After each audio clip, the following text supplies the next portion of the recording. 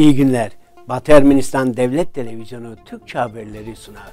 Batı Ermenistan Cumhuriyeti Ulusal Meclisi'nin yerli Ermeni kültürünün Birleşmiş Milletler'de sunumu ile ilgili 36. olağan oturumu.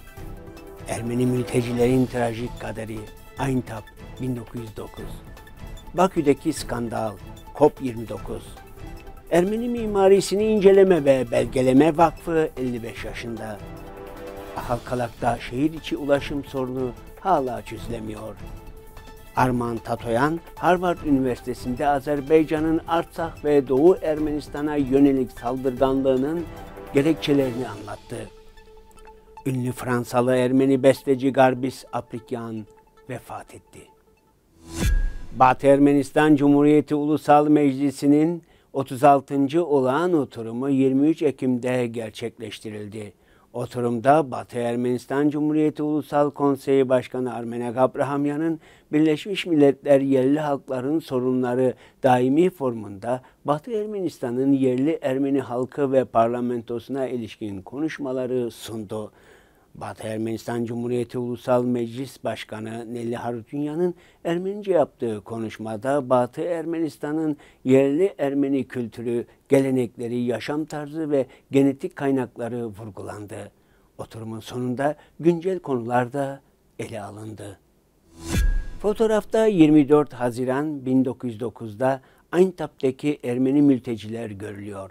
Bu görüntü Türk diktatörlüğü ve sürgün nedeniyle ata evlerini terk etmek zorunda kalan Ermeni halkının acı kaderini yansıtıyor. 1909 yılında özellikle Kilikya Ermenistan'ında çok sayıda kitlesel pogrom ve zulüm yaşandı. 24 Haziran'da çekilen fotoğraf bu mültecilerin durumunu yansıtıyor. Bu dönem özellikle de Adana'daki katliamlar Ermenilerin çektiği acıları, yerinden edilmeleri ve ağır yargılamalarla karşı karşıya olduklarını göstermektedir. West France editörü Jean-Emmanuel Yutin, iklim sorunlarına karşı devletlerin birleşmesi memnuniyetle karşılanırken COP29'un Bakü'de hiçbir şey olmamış gibi yapılması gerçekten kabul edilemez diyor. Jean-Emmanuel Yutin, bu cani diktatörlüğün etnik temizlik yaptığını, Ermenileri esir tuttuğunu, işkence yapıp öldürdüğünü, muhaliflere ve gazetecilere baskı yaptığını, Doğu Ermenistan'ı tehdit ettiğini vurguluyor. 120 bin Ermeninin zorla yerinden edilmesini başlatan Bakü etnik temizlik yapıyor ve Ermeni kültürel mirasını yok ediyor. Uluslararası liderlerin Azerbaycan'ı insan hakları ihlallerinden sorumlu tutmasının zamanı geldi. COP29 o ülkenin dokunulmazlığının sembolü değil, uluslararası sorumluluk için bir fırsat olmalıdır. 55 yıl önce Almanya'nın Ahın şehrinde kurulan Ermeni Mimarisini İnceleme Kurumu şu anda Ermeni Mirasını İnceleme Vakfı olarak faaliyetlerini sürdürüyor. Yapının misyonu tarihi Ermenistan'daki Ermeni anıtlarını incelemek ve belgelemektir. Vakıf ayrıca Ermenistan ve Arsak Cumhuriyetleri topraklarındaki kültürel mirasın onarımı ve korunmasıyla da ilgilendi. Fonun eş direktörü Rafi Kortoşan, 2020'deki 44 gün savaşı ve 2023'teki Artsak'ın sürgününden sonra tablonun çarpıcı biçimde değiştiğini söylüyor. Ahalkalak'ta ulaşım sorunu uzun süredir vatandaşları endişelendiriyor. Toplu taşımanın olmayışı kırsal kesimde yaşayanları sınırlayarak eğitim, sağlık ve diğer önemli hizmetlere erişimi zorlaştırıyor. Ayrıca Samtskhe Cavak Üniversitesi öğrencileri de ulaşım sıkıntısı nedeniyle çok fazla para harcamak ya da şehre taşınmak zorunda kalıyor. 2022 ve 2023'te atılan adımlara rağmen ulaşım sorunu henüz çözülmedi. 2023 yılında Sakrebolo belediye ulaşımı fikrini onayladı ancak 2024 bütçesinde herhangi bir finansman sağlanmadı.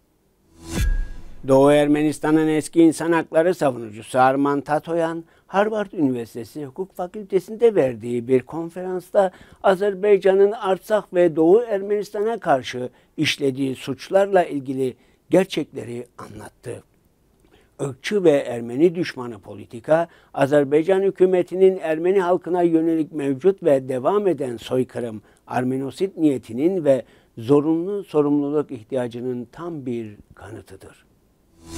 Fransa'daki Doğu Ermenistan Büyükelçiliği, ünlü Fransalı Ermeni besteci, müzikolog Sipan Gombidas Korosu'nun kurucusu ve uzun süredir lideri olan Garbis Aprikyan'ın vefat ettiğini bildirdi. Ünlü bestecinin Ermeni kültürünün Fransa'da ve sınırlarının ötesine yayılmasındaki rolü paha biçilemezdir. Garbis Aplikyan kendi kurduğu Sipan Gomidas korosuyla 50 yılı aşkın süredir dünyanın farklı ülkelerinde Ermeni şarkılarını ve müziğini sundu. Barse Ganacyan'ın çizimlerine dayanarak kendisi tarafından tamamlanan Sasunlu David'in doğuşu oratoryosu özel bir anılmayı hak ediyor. Garbis Aplikyan 1926 yılında Mısır'ın İskenderiye şehrinde doğdu. 1948'de orada Mısır'da birçok konser verdiği Hamazgay'ın korosunu kurdu. 1953'te Paris'e taşındı ve kısa süre sonra Sipan Gomidas korosunu kurup yönetmeye başladı ve birçok prestijli uluslararası sahnede büyük başarı elde etti. Sayın izleyiciler ve sevgili soydaşlarımız, bugün için bu kadarını öngördük. Hoşçakalın.